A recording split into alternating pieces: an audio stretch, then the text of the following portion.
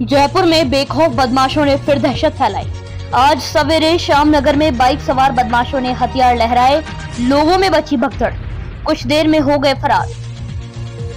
शनिवार दिन दहाड़े एक के बाद एक हुई दो वारदातों के बाद आज सवेरे फिर से बदमाशों ने शहर में दहशत फैलाई। आज सवेरे दो बदमाशों ने बाइक पर बाज़ार से गुजरते हुए हथियार लहराए, जिससे लोग डर गए और बाज़ार में एक के बाद एक भगदड़ मच गई। कुछ देर में दोनों बदमाश बाइक से फरार हो गए। स्थानीय लोगों ने बताया कि 200 फीट बाईपास पर अजमेर रोड की ओर आज सवेरे खड़ी ठेले वाले फल विक्रेता और अन्य दुकानदार अपना कारोबार शुरू करने की तैयारी कर रहे थे। इस दौरान पावर बाइक पर दो युवक आए। उनमें से एक के हाथ में रिवॉल्वर जैसा हथियार था। बाज़ार से गुजरने के दौरान बाइक सवार ने बाइक धीमी की और कई लोगों पर बंदूक तानी।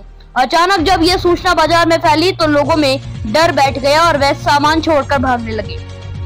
बाद में दोनों बदमाश दिल्ली रोड की ओर फरार हो गए।